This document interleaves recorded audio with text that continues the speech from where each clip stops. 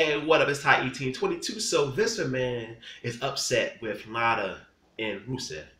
Lana and Rusev are engaged. It was broken by TMZ. So you saw Monday Night Raw that Abomination other storyline was finally over. WA kayfabe is dead. Social media is big.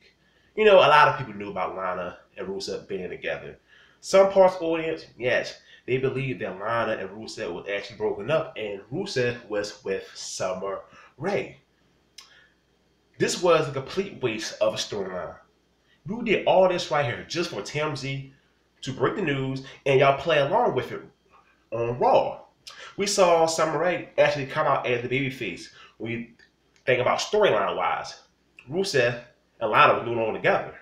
So he gets engaged with her. He's dating Rae, storyline wise still.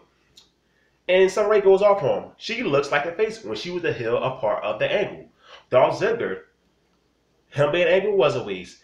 Everybody who was in the angle was a waste. The people who wrote the story was just wasting their time. Why would you use two people who are together, which we all knew for the longest, before they got engaged? You always saw pictures of Lana and Rusev together. They were at basketball games and other sporting events.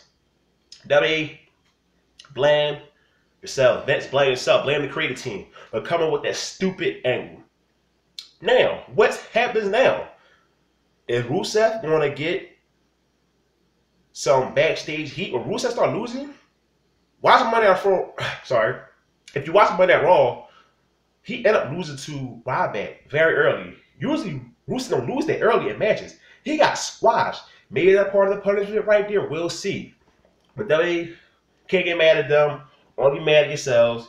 Y'all knew this was a goddamn stupid angle from the jump. But y'all went on anyway and thought it have been good. It was piss poor.